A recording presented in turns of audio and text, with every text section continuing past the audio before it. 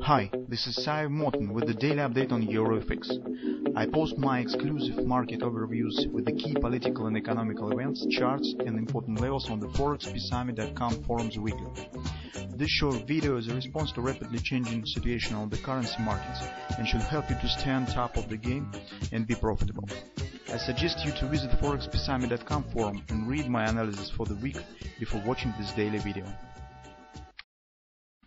Good morning, today the 16th of September and welcome to the daily Forex video research. Today we will talk about the EuroFX.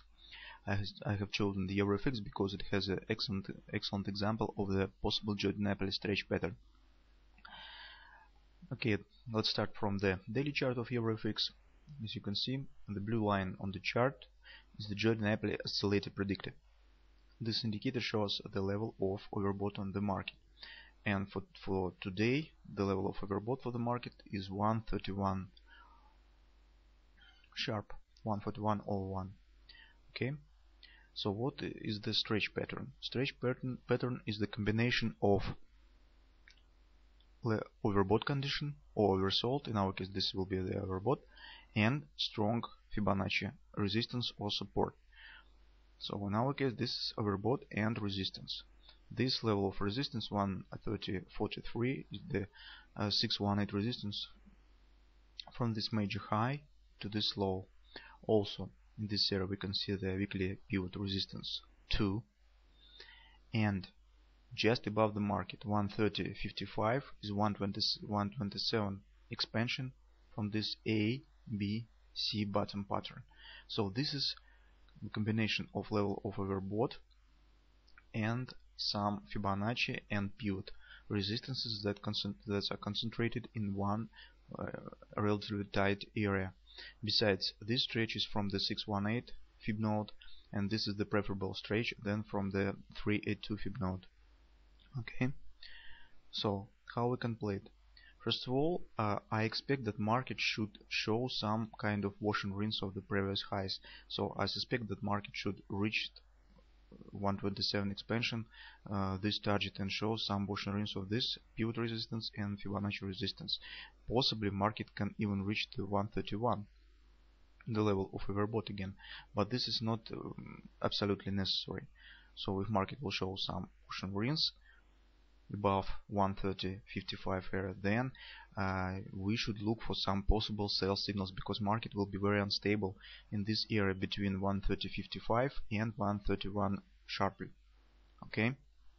If we will see some reverse patterns some signs of weakness of the market then possibly we can sell in this area usually uh, the target of this possible stretch pattern in is the uh, level zero level of the trended oscillator so it's this is the area I suppose somewhere above this level 129 maybe 129.50 this is not small move general. If we will take even trade to retracement from this low to this high this will be not small move really. Okay? Now let's shift to the 4 hour chart this is for our chart. The red line on the chart is the MACD predict indicator that shows us the trend. Uh, just two points right here. First of all look at this pattern. A B C bottom. 100% expansion of this move is just above this area. And it coincides with the level with the area that we just uh, discussed on the daily chart 130.61 also look at this first move from C point to generally 618 expansion from ABC pattern market. Just passed through it and started following the consolidation. Also look at this trend. For our trend turns to the bearish but price action doesn't confirm this trend shifting. So usually when the uh, trend change to bearish market should show some move to the downside but right now market just stands in the range. This is the very strong sign that the pre previous highs will be taken out by the market.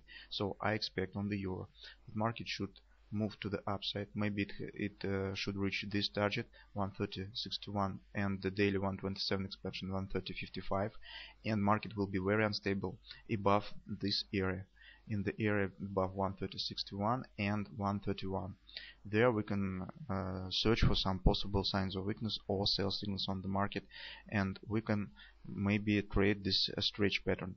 The major risk at stretch pattern that uh, we will trade against the daily trend.